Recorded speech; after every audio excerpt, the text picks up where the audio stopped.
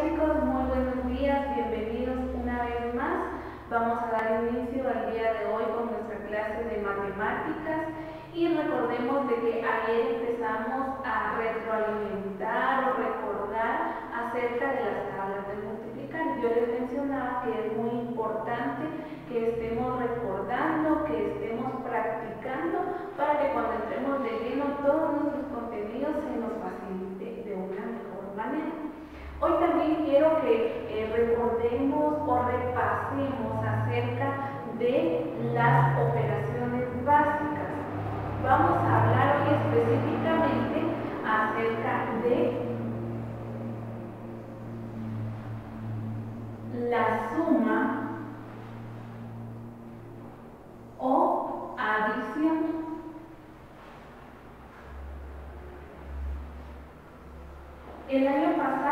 nosotros trabajando con suma o adición. Ahora recordemos que es una suma.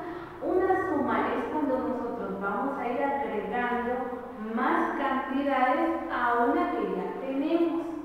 Pero para ello también debemos de recordar las partes de la suma.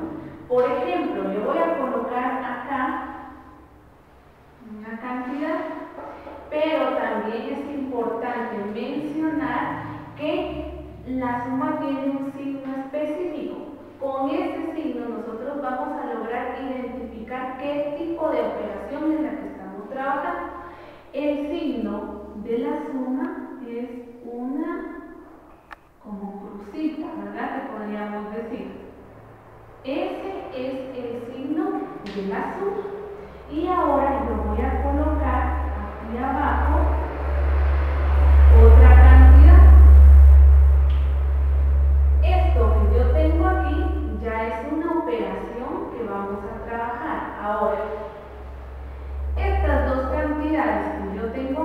el 3 y el 12, a estos se les llama, estos dos se llaman sumandos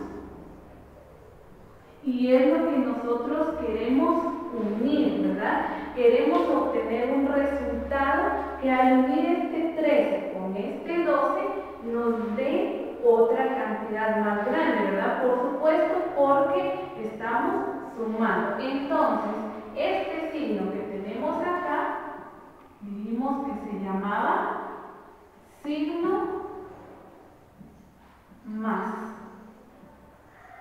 Y como les decía, es el que nos indica qué tipo de operación estamos nosotros realizando. Ahora bien, vamos a hacer la suma. Pero recordemos que siempre a la hora que vamos nosotros recordemos que toda cantidad tiene unidades, tiene decenas o puede tener centenas o muchas más, ¿verdad? En este caso, aquí solamente tenemos unidades y decenas. Aquí lo importante es que nosotros coloquemos unidad bajo unidad, decena bajo decena.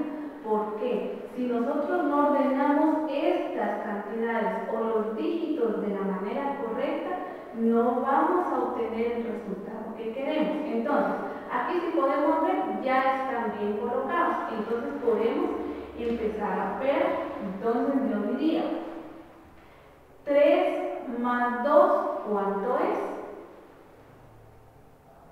3 más 2 son 5. Muy bien. Si ya tengo el resultado de estos dos, ahora me voy a correr hacia mi lado izquierdo, ¿verdad? Y ahora voy a sumar estas dos cantidades. 1 más 1, ¿cuál será mi resultado? 1 más 1 son 2. Entonces, el resultado de mi operación son 25. Esto es entonces una suma con cantidades que tienen solamente dos dígitos, pero también puede ser que podamos nosotros tener otra suma donde tenga más de dos dígitos cada cantidad. O puede ser que el sumando de la parte de arriba tenga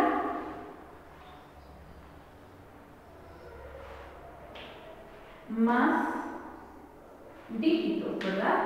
Aquí, por ejemplo, voy a colocar esto. Tengo aquí en la parte de arriba un 310. Esta cifra o esta cantidad que tengo tiene unidades, tiene decenas y tiene centenas. Ahora, el sumando que está aquí abajo solamente tiene unidades y tiene decenas. ¿Qué hacemos cuando encontramos una operación de esta manera? Vamos a iniciar siempre de derecha a izquierda, ordenado todo, ¿verdad? Ahora empezamos.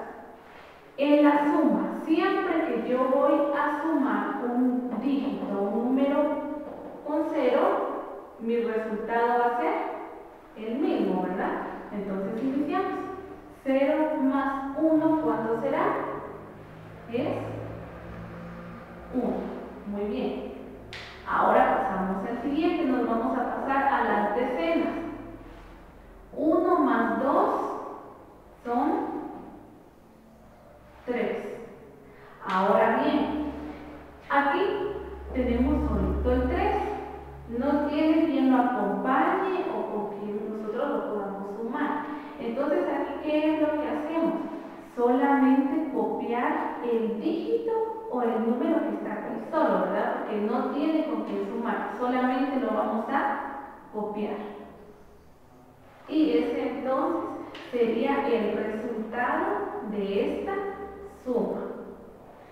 Toda suma tiene sus partes, como les mencionaba, y es importante entonces que cada una de las operaciones que nosotros realicemos estén bien ordenadas. Como les mencionaba, ustedes tienen su cuaderno de matemáticas. en el cuaderno de matemáticas vamos a ir realizando todas las tareas. Entonces, el cuaderno tiene cuadrícula, entonces podemos colocar cada número, un número en cada cuadrito. ¿Para qué? Para que se vea todo ordenado y así nos ayuda también para que al momento de realizar nuestras operaciones esté todo correcto. Ahora, quiero mencionarles que el día de hoy se les está enviando también una hoja con ejercicios. ¿Para qué? Para que ustedes puedan ir practicando todo lo que se les va explicando. Si, por ejemplo, existen dudas acerca de la suma o cómo ordenar o cualquier duda que ustedes tengan, me pueden decir para que yo los pueda apoyar.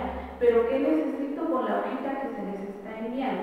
Que ustedes lo pasen o copien la operación que se les está mandando, la suma, en su cuaderno de tareas de matemáticas. La copiamos y vamos a sumar y colocamos el resultado. Todo, por favor, bien ordenado. La hojita solamente les sirve a ustedes para que sepan qué tipo de operación es la que estamos realizando. Entonces, yo espero que ustedes trabajen de lo mejor posible y si sus papás también pueden orientarlos, eh, es muy bueno, más no que les realicen las tareas o los ejercicios. Así que espero que eh, lo que hemos visto o hemos recordado el día de hoy sea de utilidad para ustedes y nos vemos en la siguiente clase.